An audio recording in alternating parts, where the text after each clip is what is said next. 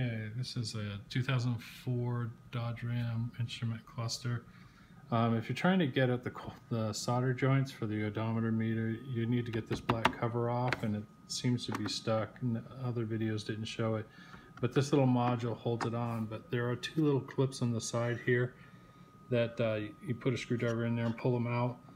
Um, but if you just pull straight up on this module, there's just a connector here. That's the only thing holding it in.